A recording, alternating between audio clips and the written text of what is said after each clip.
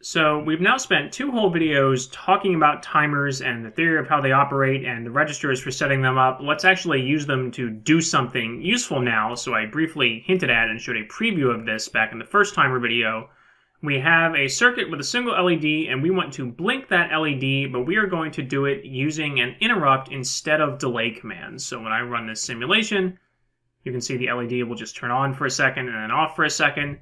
But in my code here, I don't have any delay commands in the while loop, and I have a single interrupt service routine up at the top here that is using the XOR bitwise operator to toggle the LED on and off. And then in the bulk of my code, in the main function here, I have a bunch of registers, including the TCCR1A and TCCR1B registers we saw in the previous video, and two new registers, OCR1A and TIMSK1, that we have not seen yet. So let's talk about what these, re these registers do and how we can use them to set up and enable a timer interrupt. So first let's have a reminder about what a timer in normal mode is doing. So we're going to look at timer 1, which is 16-bit and has that maximum value of 65,535. So in normal mode, the timer is going to start counting at zero and just increment up until it hits that maximum value, wrap around back to zero, and keep going, giving you that sawtooth wave. Now, that is in normal mode, but remember in the last video we saw this big table with a bunch of different modes we could select for the timer. In this lesson, we are going to use clear timer on compare mode, which allows you to select a value somewhere in between the bottom the bottom and the maximum values. And you pick that value using the output compare register. So there are actually two of these available, but in the code you saw at the beginning, we were using one of them, OCR1A. So you can pick a value and write a value to this register that is somewhere between 0 and 65,535. And as the name implies, that will clear the timer or reset it to 0 when it reaches that value. So instead of letting it count all the way up to max, it's going to hit whatever value you've picked for this register, and then it's going to reset. And we have an additional register, the TIMSK1 register, that allows us to enable an interrupt whenever that happens. So whenever the timer counts up to the value we've picked, it's going to clear the timer, reset it to zero, and generate an interrupt so we can jump to our interrupt service routine and you can see how we are now generating interrupts at a set frequency. And by changing the value in this output compare register, we can increase or decrease that frequency or change that period. For example, if we move that output compare register up, it's going to take the timer longer to reach that value, so we've spaced our interrupts out more. This period is longer. If we move that interrupt, sorry, if we move that output compare value down, the timer is going to reach it more quickly, and these interrupts are going to happen more often. And just like you could calculate the overflow period for a timer when it's reaching its maximum value, you can also do that for a timer when it's reaching this output compare value. So it's going to be the value stored in that OCR1A or B register plus 1. Remember way back when we looked at our pretend 2-bit timer as an example, it only reached a maximum value of 3, but it took a period of 4 clock ticks to wrap around. So then you multiply that by the prescaler and by that clock tick period of 62.5 nanoseconds. That will give you the period for your interrupts. So now let's go through and look at the code line by line. Starting in the main function, I have my DDRD register, which hopefully you're familiar with by now. That is setting pin 7 to an output, so I can use it to control the LED. Next, I have my TCCR1A and TCCR1B registers, which you saw in the previous video. I'm using those to do two things.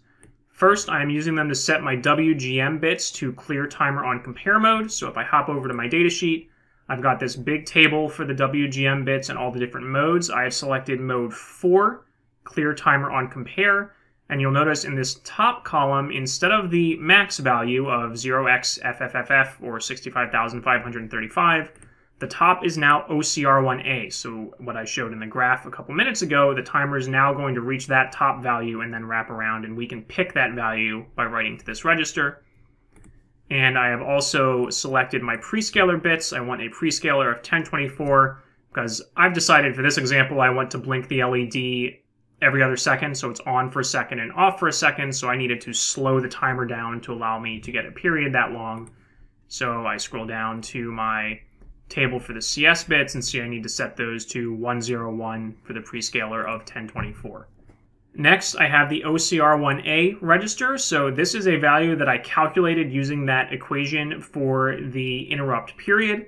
And here's a good reminder where sometimes it is much more convenient just to write a value in decimal instead of binary. You can use hexadecimal if you're more comfortable with that, but writing this out in binary for all 16 bits would be a huge pain. So you can just write a value to a register in decimal if you want to. So sometimes that makes sense, sometimes it doesn't. Again, for DDRD, it's much easier to look at this and just say, oh, I want to write a 1 to bit 7 because that controls bit 7, as opposed to figuring out what this value is in decimal. But in this case, when we're thinking about that graph and where we want the interrupt to occur, it's easier just to think about that in decimals, so you kind of have a sense of where this is relative to that maximum value of 65,535. Finally, we have the TIMSK1 register, which we have not seen yet, so let's hop over to the datasheet to look at that.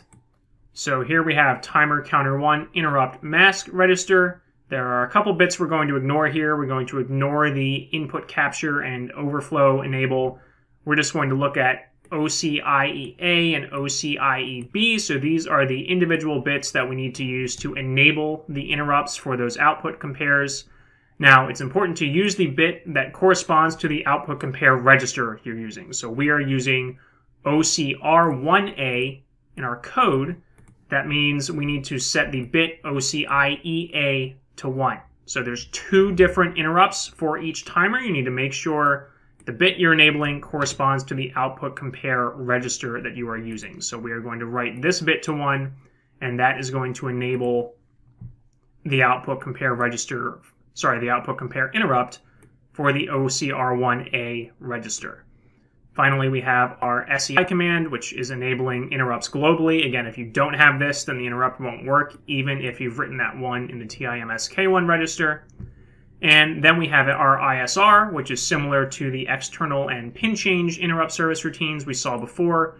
We just have a different argument for the ISR here, which again we get from our table of interrupt vectors. We look up the one for timer counter one compare match A, and in this case it's timer one underscore comp A underscore vect. So we fill that in there, and then that way this interrupt will be called every time the interrupt is triggered based on the timer hitting this OCR1A value. So for this assignment, we're going to change a couple different things. First, I want you to change the code so you are using OCR1B instead of OCR1A. That will require you to change a few other things in the code to make sure it still works, so you'll need to figure out what those are. Next, change the interrupt period so the LED is on for a quarter second and then off for a quarter second but do so using the smallest possible prescaler. So it won't necessarily be the prescaler of 1024. You'll have to see if, a smaller prescaler value will work and adjust the code accordingly.